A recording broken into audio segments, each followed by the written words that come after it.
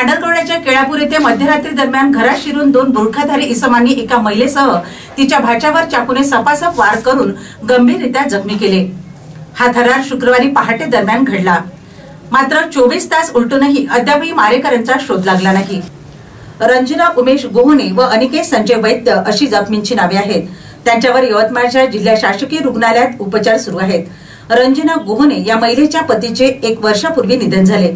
तेव्हापासून ते तिची अकरा वर्षीय मुलगी रुद्राणी व तिच्या बहिणीचा मुलगा अनिकेत संजय वैद्य यांच्यासह केळापूर येथे राहत्या घरी वरच्या माळ्यावर वास्तव्याला आहे. खालच्या माळ्यावर तिचे भासरे गणेश गोहणे परिवारासह वेगळे राहतात. शुक्रवारी पहाटे अडीच वाजताच्या सुमारास जोरजोराने दार ठोकण्याचा आवाज आल्याने रंजना जागी झाली.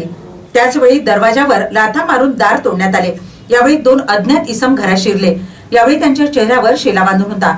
त्यापैकी एकाचे अचानक रंजनाचा गळा पकडून तिच्यावर धारदार चाकूने सपासप वार केले.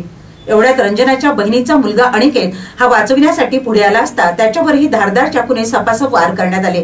त्यामुळे तो खाली कोसळला. मुलगी रुद्राणी खाली झोपून होती. आता तिच्यावरही हल्ला होईल या भीतीने तिच्या अंगावर ती जाऊन पडली. यावेळी घरात लाइट बंद असल्याने ते व्यक्ती कोण होते हे दिसून आले नाही. या हल्लेखोराने जाताना मोबाईल घेऊन गेले. त्यानंतर दाराची कडी बाहेरून लावून पळून गेले. या प्रकरणी तक्रारीवरून पांढरकवडा पोलिसांनी हल्लेखोरांविरुद्ध बांधवी तीनशे सात चारशे पन्नास तीनशे ऐंशी चौतीस अन्वये गुन्हा दाखल केला.